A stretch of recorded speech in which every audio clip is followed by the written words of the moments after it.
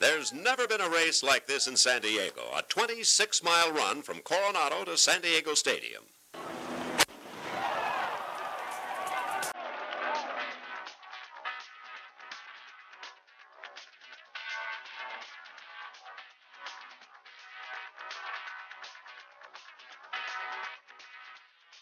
For about half the runners, the race was over at the 10,000 meter finish line on the Embarcadero. Tom Lux of San Diego was first to finish here, but the marathoners still had a long way to go.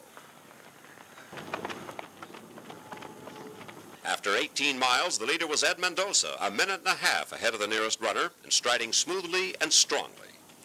Mendoza held that lead to the finish. Winning time, 2 hours, 21 minutes, and 30 seconds. This course is a little tougher than most people think because the last uh, six miles is rolling hills. a lot of entrants. Everybody. Well, that many people entered in the race, did that make a difference? Yeah, it keeps you going for quite a while. It's pretty exciting. Finishing second was Jeff Galloway, and the first woman to finish was Sue Krenn. Her time, 2 hours, 53 minutes.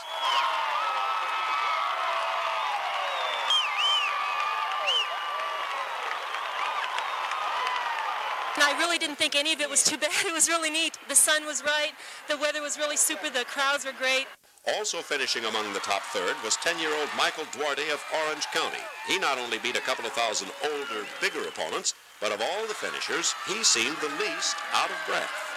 Ed Mendoza was the first to cross the finish line, but every single one of the more than 5,000 men and women who entered the heart of San Diego Marathon is a real winner.